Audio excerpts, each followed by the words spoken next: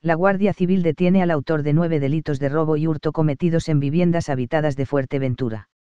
La investigación se inició en el mes de febrero de 2021 y todos los objetos sustraídos según la valoración aportadas por las denuncias ascienden a 22.800 euros.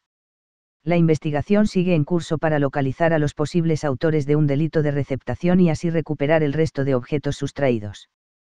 23 de abril de 2021 La Guardia Civil del puesto principal de Corralejo, en Fuerteventura ha detenido el pasado 19 de abril de 2021 a una persona de 27 años de edad con numerosos antecedentes policiales contra el patrimonio, por la presunta autoría de siete delitos de robo con fuerza y dos delitos de hurto, cometidos en el interior de viviendas en horas de madrugada con sus moradores dentro.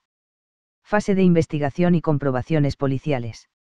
La investigación se inició a raíz del estudio de una serie de denuncias presentadas en dependencias de la Guardia Civil de Corralejo a partir del mes de febrero en las que todas ellas seguían el mismo patrón, el acceso a viviendas habitadas mediante el método de escalo durante la madrugada con el objetivo de sustraer en su mayor parte objetos de fácil salida en el mercado de segunda mano.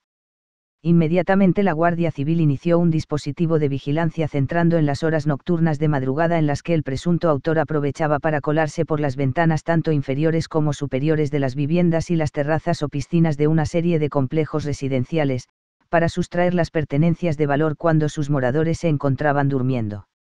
El detenido con numerosos antecedentes policiales, llevaba a cabo los robos ocultando su identidad mediante prendas de cabeza y sudaderas con capucha además de mascarilla para evitar ser reconocido. La fase de explotación de estos indicios se llevó a cabo con la detención cuando accedía a un complejo hotelero sin actividad en el cual se encontraba ocupando ilegalmente un apartamento vacío con la finalidad única de ocultarse tras la comisión de los delitos que durante la detención se recuperaron prendas de ropa y otros objetos sustraídos quedando el detenido a disposición del correspondiente juzgado de guardia de Puerto del Rosario decretando su libertad con medidas cautelares.